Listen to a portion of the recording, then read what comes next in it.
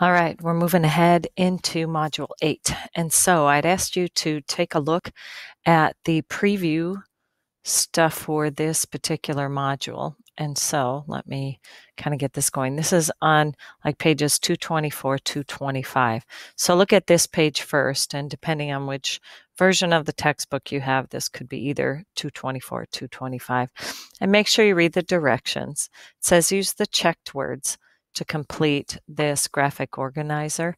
There are only four checked words, although you're responsible for knowing each of these. All right. And so please go ahead and put these in the proper spots in here. Uh, and then these two questions, it says complete these two sentences using the preview words. And actually, they're more like preview phrases there. All right, so that's that particular page. And then when you look at the Are You Ready for going on into Module 8, these first four are some review with simplifying. So your job is to look at these expressions and combine any like terms you see. We'll be doing that a lot in this one.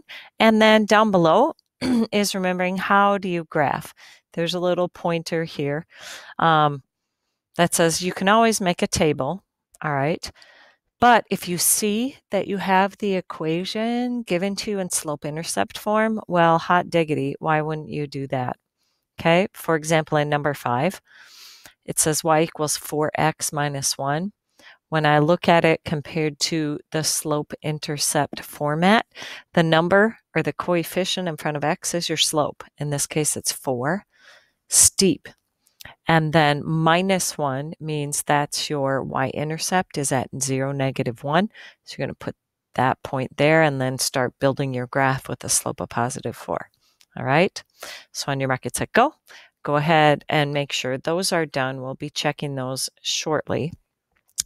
But then what I want you to do is in your book also, then flip on over to the beginning of Module 8. And I want to walk through some of this with you and then turn you loose on just a few problems on the assignment. Okay. Our goal now is going to be how are we going to solve systems of equations? And today, the method that we're going to use is graphing. All right. So they say, let's take a look at this particular um, system. Okay, we've been doing basically one linear equation at a time.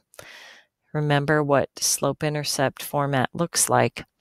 And it's asking you, all right, let's let's graph these two lines on here. So I'm going to make this first one purple because I have the beauty of different colors here. 3x minus 2. 3 is my slope. Negative 2 is your y-intercept. Start there and build your line. A slope of 3 means up 3 over 1. Up 3 to the right 1. In other words, my vertical change, the numerator, the change in y is positive 3. And the horizontal change is positive 1. 3 over 1, 3 over 1. Or we could build this way and go down 3 to the left 1. Down 3 to the left 1. All right, you get an idea. A slope of positive 3, yes, should be going up, and it should look kind of steep. Okay, good. So this is the y equals 3x minus 2. All right, the second line that we're going to plot on here is y equals negative 2x plus 3. My slope this time is negative 2. The y-intercept is positive 3. So I'm going to start here. A negative slope means my line is slanting downward. So this one should have a slant that looks like this. A slope of negative 2 means that rise is negative 2 and the run is 1. Or it could be, you could have it as a positive 2 over a negative 1, either way. Down 2 to the right 1, down 2 to the right 1, down 2 to the right 1. I like this one because it gives me a lot of points. I'm going to keep building this way as well. Up 2, but to the left 1. I like to get as many coordinates as I can. It helps me draw a straighter line. All right, now let's stop for one second. Every single point on this line, whether it's hitting at a nice integer set of ordered pairs or whether it's in between them somehow. Every single ordered pair point on this line is a solution to that line. Okay? Every single one I pick. What it's asking me in B, it says, explain how to tell whether 2, negative 1 is a solution without using the graph. Now, they just told us to graph it, and then they're saying, hey, don't use the graph. All right. Well, they're saying algebraically, how would you do this? Well, first, what you would do is you would substitute 2 for x and negative 1 for y. Then evaluate and see if it's true. Well, here's what's going to happen. When I plug a 2 in for x, I'm going to take 3 times 2 and then minus 2. And then I'm going to say that equals the y value over here was negative 1. Well, here's what happens. I get negative 1 as I simplify, negative 1 equals 6 minus 2, which is 4. Negative 1 equals 4? No. Okay, not true. Which means that that is not a solution. 2 negative 1 is not a solution. That was this, this line. And if you look at it at 2 negative 1, there's that point right there, but it's not on the purple line. Mm -mm. So it's not a solution. How do you tell whether it works in this one? We're going to do the same thing. And the other equation, substitute 2 for x and negative 1 for y. And then evaluate and see what happens. Well, when I do it this time using this equation, y equals negative 2x plus 3, I'm saying negative 1 equals negative 2 times 2 plus 3. Okay, now let's evaluate. On the left-hand side, I still have negative 1. Negative 2 times 2 is negative 4 plus 3. Is negative 1 equal to negative 4 plus 3? Yes.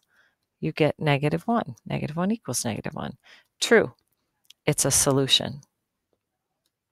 Yes, a solution. So, what we're doing this time is we're saying, how do you use the graph to tell whether this is a solution? I can tell right here. Here's 2, negative 1. It's on my graph. The point is on the line. There we go.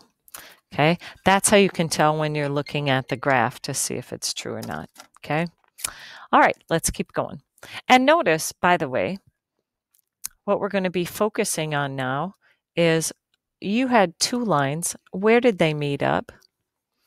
Here it looks like I crossed or I intersected or I shared a point at this ordered pair, 1, 1.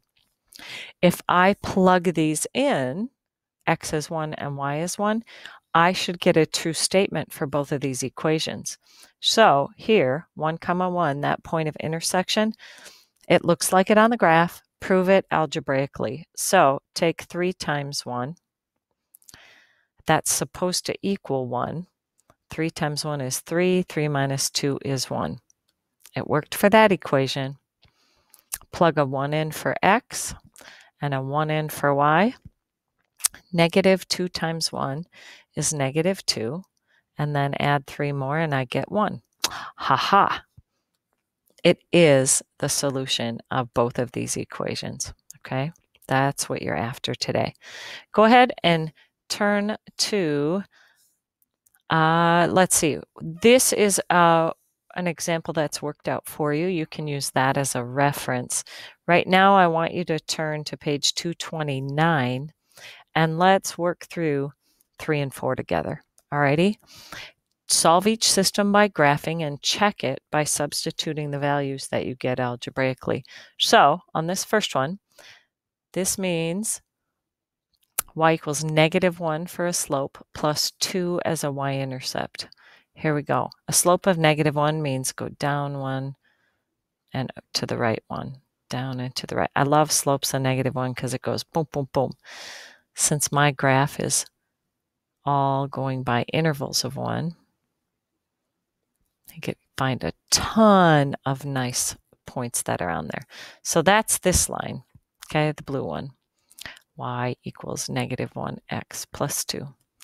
All right, the other line is y equals negative 4x minus 1. Holy cow, my y-intercept is negative 1, and the slope is negative 4. Yowza! That's really steep. 1, 2, 3, 4 over 1. 1, 2, ugh. I'm estimating. Up, 2, 3, 4 to the left one. Up, 2, 3, 4 to the left one. Here is this line Notice both of these are slanted downward because they both had negative slopes. y equals negative 4x minus 1. This appears to be my solution. Make sure you put parentheses around it because it is an ordered pair. Negative 1, 3. All right, so now what we want you to do is prove it. Prove that that actually works. So let's check it in that first equation. Okay y is 3. It's negative 1 times x, which is also negative 1. And you're supposed to see, is this true? Well, that gives me a positive 1, and 1 plus 2 is 3. Hey, it worked. Okay, now go ahead and check it in the other equation. Make sure it works. This says y, that's 3, equals negative 4 times x minus 1. So I plugged in negative 1 and 3 for your x and your y, and you're saying, does this work out? Well, let's see. This is positive 4, and I get 3. Ha! Hey, hey, hey! Checks out. So that's your solution. Try one more. y equals negative 2x plus 5. Start at 5. Slope is negative 2, down 2 over 1, down 2 over 1, down 2 over 1, down 2 over 1. Ta-da! Up to the left one. Here we go. Ah! Not so good at drawing. All right, this is y equals negative 2x plus 5. All right, let's get the other one on there. This one says y equals 3x hey, there's nothing written there for a y-intercept. That means it goes through the origin. Whoop. Hey, that means this also happens to be a proportional relationship. All right, here we go. Slope of 3. Up 3 over 1. Boom! There it is. Get some more points on here. Down 3 to the left 1. Down 3 to left. Just help you draw it. Connect to get your graph. This is y equals 3x. Looks to me like my point of intersection is at 1, 3. 1, 3, 1, 3. X is 1, Y is 3. Check it. So my first equation said the Y value has to equal negative 2 times the X value plus 5. Let's see. Negative 2 plus 5, that gives me 3. Ha ha. Weird that both of these ended up having y values of 3. That's just one of those weird old math coincidences. All right, on this one, y equals 3x. So 3 is the y value. 3 times x, x is 1. Well, duh, that's 3. Works. Shazam. There we go. That's as far as I want to take you with today. We're just going to do a couple of these problems and then venture into some of this more complicated stuff. Okay, so here's what I want you to do. I think this is like page 232 in your textbook. Do number one. Uh, you should be able to answer question four. And do number five. And then number six is a multi step thing. Work through that one. It's all I need you to do for tomorrow, and we'll pick it up where we left off. Good luck, and may the force be with you.